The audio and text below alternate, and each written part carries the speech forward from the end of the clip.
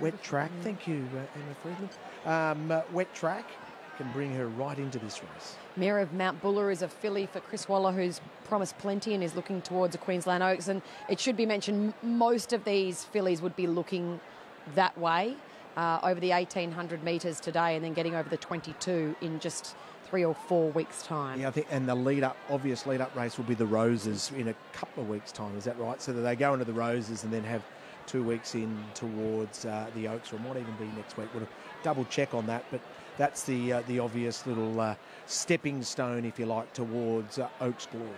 A, there's some really nice, promising fillies in this field. I really like this race, and I enjoyed going through it. So Molly Bloom, the New Zealander, your Black Booker, and she was just sensational hitting the line stylishly last start and today she gets that 1800 metres which is going to suit her even more so. So it's not just a jump of one furlong, it's two, which is going to make all the difference. Now, Chris Waller's had trained five winners, so three in the Sunshine Coast and two in Newcastle, and such is the nature of the uh, really competitive day. He's not in the votes at the moment. Can J Mac make it five from five? He's on Firestorm. Ready for a start. They're off and racing now in the bracelet. Firestorm bounce well off the inside with Red Breast, kind words going forward. Likewise, Exotic Miss, Amazonian Lass, and peer pressure to make a line of five and six early. Oceans of Energy just off those with Shodra, then Miss Jolene, Mayor of Mount Buller. Molly Bloom in the back half of the field early on with Race Ace. Missouri back on the inside.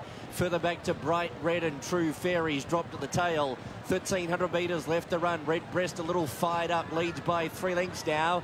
Exotic Miss in second spot, third the inside as they settle down as peer pressure. The outside Miss Jolene, then followed Firestorm, who's travelling in fifth position, the inside of Amazonian Lass. A length away to Shodra, kind words the middle, and back on the inside is Oceans of Energy.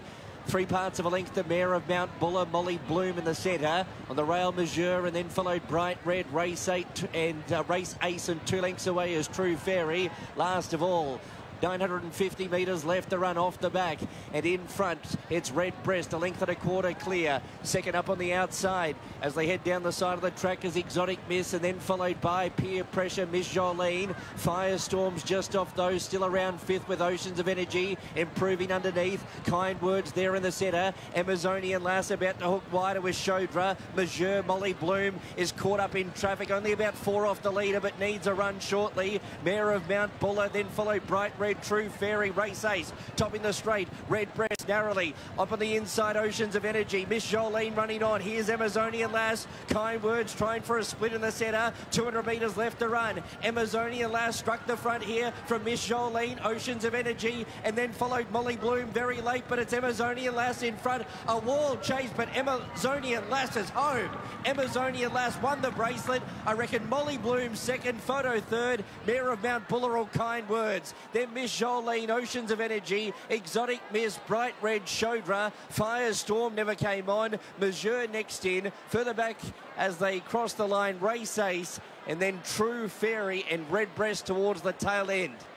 How is she $15? The Wakeful winner. Unbelievable price there for Amazonian Lass for the Waterhouse Bott team. Hippo gets a big win up on the sunny coast today, and there is no doubt she will absolutely plummet in markets now for the Queensland Oaks. So Jason Warren gets our three votes for 11 years since winning a Group 1, wins his second Group 1.